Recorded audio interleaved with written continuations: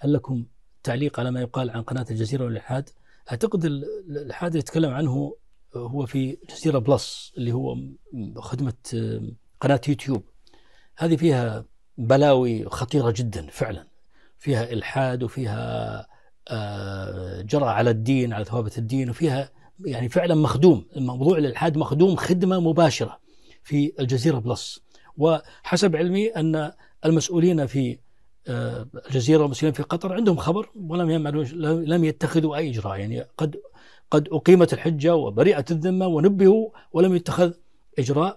والحقيقة هذه سبة وإشكالية كبيرة أن يسمح بهذا المستوى من الإلحاد في في برامج ينفق عليها من أموال الدولة في قطر.